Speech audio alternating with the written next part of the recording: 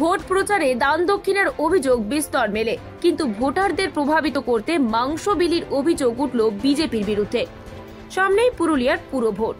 শাসক বিরোধী সব দলই কার্যত কোমর বেঁধে ময়দানে নেমে পড়েছে। এসবের মধ্যেই ভোটারদের মন জয় করতে ষোলো নম্বর ওয়ার্ডে মাংস বিলির অভিযোগে সরগরম শহর। বাড়ি বাড়ি ঘুরছেন বিজেপি প্রার্থী।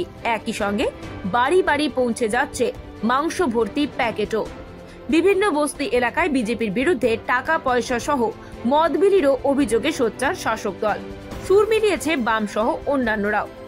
তবে শাসক সহ বিজেপি বিরোধীদের সব অভিযোগ অস্বীকার করেছে গেরুয়া শিবির। অভিযোগের পাল্টায় বিজেপি প্রার্থী তথা বিধায়ক সুদীপ মুখোপাধ্যায়ের বক্তব্য হারবে জেনেই বিজেপির বিরুদ্ধে কুৎসা রটানো হচ্ছে। তবে শাসক তৃণমূলের বক্তব্য বাড়ি বাড়ি তো বটেই। বিভিন্ন বস্তি মহল্লায় ভুরি ভোজের নামে দেদার মাংস বিলি করা হচ্ছে। বিষয়টি তাদের নজরে এসেছে। এ ব্যাপারে নির্বাচন কমিশনের দ্বারস্থ হয়েছেন তারা বলে জানিয়েছেন তৃণমূল প্রার্থী নবেন্দু মাহালি। তবে ভোটারদের প্রভাবিত করতে বিজেপি তৃণমূলের বিরুদ্ধে টাকা পয়সা বিলি থেকে শুরু করে বিভিন্ন অভিযোগে সুর চড়িয়েছেন বামেরা। একই সঙ্গে তৃণমূল বিজেপি রাজনৈতিক অস্বচ্ছতার অভিযোগ সহ এ ব্যাপারে নির্বাচন কমিশনের হস্তক্ষেপ দাবি করা হয়েছে দলের তরফে।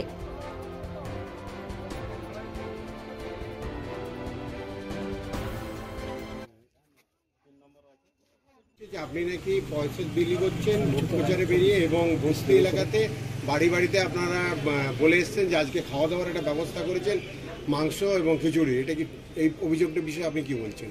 কে অভিযোগ করছে? এই অভিযোগটা করেছে আপনার বিরুদ্ধে প্রার্থী হয়েছেন নব্যেন্দু মহালি। ষোলো নম্বর দেখুন একটা কথা বলছি এখন ভোটে হারার ভয়ে নানা রকম অভিযোগ করছে। এসব ভিত্তিহীন অভিযোগ। ভোটে এগুলা এইসব জিনিস করে কিছু হয় না। ভোটে জিততে গেলে মানুষের কাজ করতে হয় সারা বছর পাশে থাকতে হয়। হ্যাঁ উনি তো চিরকাল যে দল করেন যে সেই দলের যে সভাপতি হয় তার পেছনে পিছনে ঘুরঘুর করেন। হ্যাঁ দলীয় পদ পাওয়ার জন্য কিন্তু ভোটে জিততে গেলে মানুষের আশীর্বাদ করতে পেতে হয় মানুষের কাজ করতে হয়। তো সারা বছর কাজ করি মানুষের আস্থা আছে জিতবো। আর যার ভয় হচ্ছে সেই এরকম অভিযোগ করবে। আর মাংস দিয়ে যদি ভোটে জিতে যেত তো তেইশটা ওয়ার্ডের কাউন্সিলর তো মাংসর দোকান যাদের আছে তারাই হতো। এরকম সাধারণ রাজনৈতিক দলের কর্মীরা কি হতো? কি? কি? সব মাংসওয়ালারাই ভোটে দাঁড়াতো। গোটাটাই ভিত্তি হারার ভয় আগেই বলছে যদি আমি হেরে যাই। তো হেরে তো তুমি আছো তুমি জিতেছো কবে? আমি তো কোনোদিন হারি নেই আমি তো বলছি আমি জিতবই। আমি বলেছি যদি আমি জিতি এলাকায় একটাও কাঁচা বাড়ি রাখব না। আর আমি জিতবই। জিতার পরে একটা কাঁচা বাড়ি রাখব না। আমি জেতা জেতার পরে ষোলো নম্বর ওয়ার্ডকে মডেল ওয়ার্ড করব। আর পুরুলিয়া শহরে বিজেপি ক্ষমতায় আসছে বিজেপি ক্ষমতায় আসার পর একটা মডেল শহর তৈরি করবে। আন্ডারগ্রাউন্ড নালা ঘরে ঘরে পানীয় জল। যে পুকুরগুলোকে নষ্ট করেছে সেগুলাকে সংস্কার করা আমাদের বহু পরিকল্পনা আছে। পরিষেবা দেওয়া পৌরসভায় যত তাড়াতাড়ি সম্ভব পরিষেবা দেওয়া। প্ল্যান হোক মিউটেশন হোক। আপনার বিরুদ্ধে একটা অভিযোগ মানে উনি একটা চ্যালেঞ্জ ছুড়েছেন। সেই চ্যালেঞ্জে এখনও পর্যন্ত আপনি জবাব দিতে পারেননি। আজকেও বললেন। উনি চ্যালেঞ্জ করেছেন যে আমি যদি ভোটে জিতি তাহলে আমি না না জিততে পারি তাহলে ছেড়ে দেবো। তা আপনি কি সেই চ্যালেঞ্জের কোনো উত্তর দিতে চান? সেটা ওনার ব্যাপার, উনি কি করবেন সেটা ওনার ব্যাপার। আমি তো ভোটে জিততে নেমেছি। আমি হারার কথা ভাবছি না, কারণ আপনাকে এখনও একটা কথা বলছি। উনি হারার ভয় আগেই পাচ্ছেন, কারণ কোনোদিন উনি ভোটে জিতে নিনি একবার কাউন্সিলর ভোটে দাঁড়িয়েছিলেন, একবার লোকসভায় দাঁড়িয়েছিলেন। হেরেছেন। আমি যে ভোটে দাঁড়িয়েছি, সে ভোটে জিতেছি। আমি জিতার জন্যই ভোটে দাঁড়াই। উনি আগে হারার ভয় পাচ্ছেন কেন? হারা কথাটা আসবে কোথা আমরা সবাই জিতার জন্য নেমেছি লড়াইয়ে। রয়েছে যে বিজেপির যিনি প্রার্থী হয়েছেন, উনি তো এখানকার বিধায়কও, তিনি চারিদিকে আজকের দিনে এবং বেশ কয়েকদিন ধরে টাকা পয়সাও বিলাচ্ছে এবং আজকে নাকি একটা খাওয়া দাওয়ার বিরাট আয়োজন করেছে। তো এই বিষয় নিয়ে কি বলছেন এখানের যিনি প্রার্থী বিজেপির এই এলাকায় তার সাথে কোনো জনসংযোগ নেই। এই এলাকার মানুষের কাছে নামে পরিচিতি যেহেতু বিধায়ক, কিন্তু মানুষের সাথে তার কোনো সম্পর্ক নেই। তাই সেই অবলম্বনটা করেছে বিভিন্ন পাড়ায় পাড়ায় বস্তি এলাকায় মানুষকে প্রভাবিত করার চেষ্টা করছে। কোথাও মহিলাদের ডেকে বলছে, তোমরা ফিস্ট করো। তোমরা কত কেজি মাংস লাগবে বলো? কোথাও বলছে ছেলেপুলেদেরকে যারা নেশাগ্রস্ত তাদেরকে যাতে তারা মদ খায় তাদের তার ব্যবস্থা করছে। কোথাও মাংস দেবো কোথাও খাসি মাংস কোথাও মুরগি মাংস কোথাও খিচুড়ি।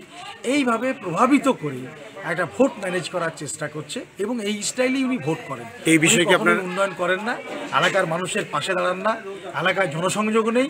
শুধু এইভাবে কিছু ফ্লাইং ভোট যেগুলো বস্তি এলাকার সাধারণ মানুষকে তাদের কাছ থেকে এইভাবে ভোট কালেকশন করার একটা মানে ভোট কিনছেন উনি? হ্যাঁ পরিষ্কার আপনি এই বিষয়ে ইলেকশন কমিশনকে।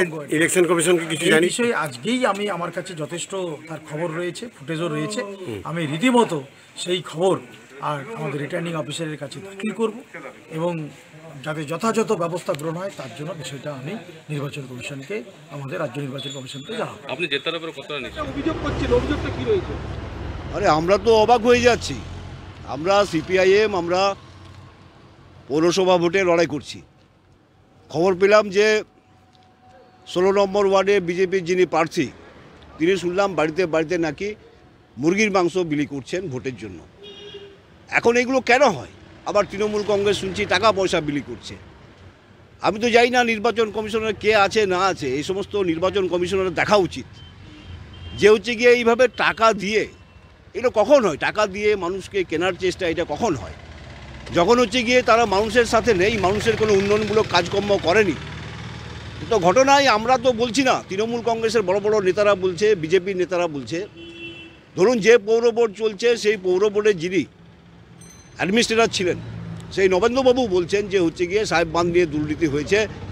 এই যে যে টেম্পোরারি কর্মচারী রয়েছে, ভুয়া কর্মচারী, সেই সব দুর্নীতি হয়েছে, এটা আমরা বলছি না।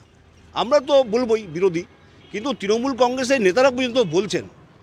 এই যে তিরিশ লক্ষ টাকার বিনিময়ে বলছে নাকি তৃণমূল কংগ্রেসের প্রার্থী পদ বিক্রি হয়েছে।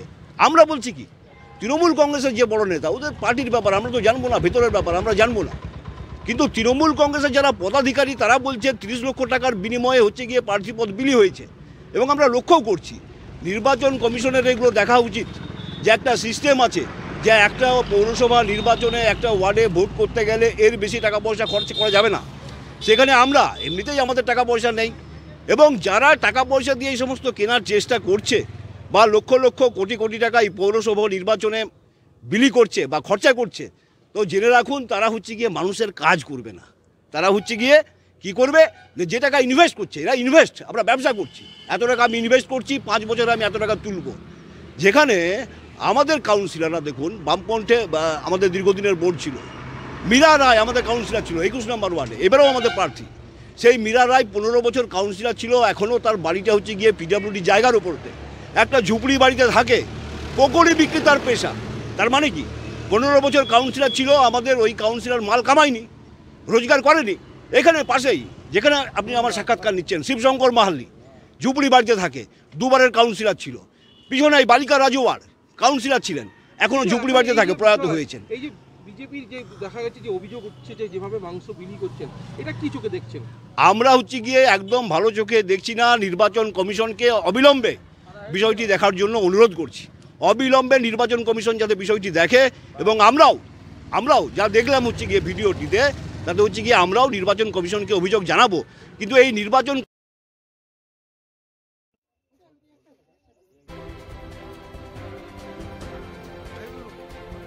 পুরুলিয়া থেকে আনন্দ বিহানির রিপোর্ট, টিভি নিউজ টেন। ভোট প্রচারে দান দক্ষিণের অভিযোগ বিস্তর মেলে, কিন্তু ভোটারদের প্রভাবিত করতে মাংস বিলির অভিযোগ উঠল বিজেপির বিরুদ্ধে।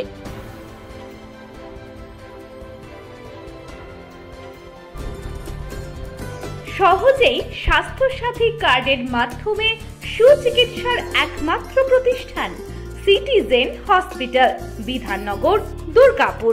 Helpline number নয় আট শূন্য শূন্য আট নয় সাত আট পাঁচ পাঁচ। অ্যাপয়েন্টমেন্টের জন্য ফোন করুন সাত চার সাত সাত সাত আট তিন নয় তিন দুই কিংবা নয় নয় তিন তিন চার সাত পাঁচ ছয় নয় সাত এই নম্বরে। সবার আগে খবরের আপডেট পাওয়ার জন্য সাবস্ক্রাইব করুন আমাদের ইউটিউব চ্যানেল এবং ক্লিক করুন বেল নোটিফিকেশন আইকনে।